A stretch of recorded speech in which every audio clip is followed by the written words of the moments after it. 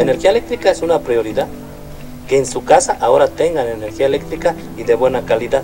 973.142 pesos fueron invertidos en Manzana Segunda Santa Cruz de Pexpan para la construcción de la electrificación. No es lo mismo encender la plancha a las 7 de la noche con la energía eléctrica de ahorita a con la de hace algunos días o semanas o meses.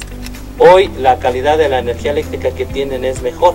10 postes de concreto colocados en 200 metros lineales de red eléctrica. Nosotros antes no teníamos, este, digamos, estábamos sobrecarga de, digamos que conectados con otra parte del otro lado, pero lo que pasa es que se nos iba mucho la luz. Fríamos más cuando era tiempo de lluvias, porque se nos iba.